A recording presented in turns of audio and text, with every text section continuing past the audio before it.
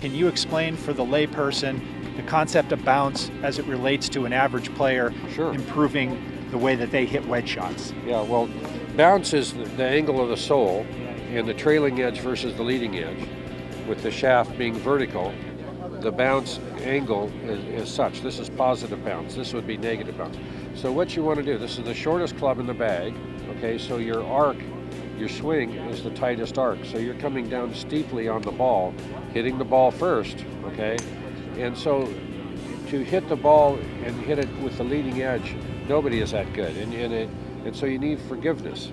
And so this this uh, acts as a skid, the bounce, or this angle acts as a skid, and the sole. There's two things. There's the angle, okay, and there's the width, and both of them act as a skid and and make it. Uh, very forgiving. You can actually hit it behind the ball or, or perfectly and get a good shot because of this. So you don't dig. You, you got to use your bounce. You set the bounce, and especially in a bunker.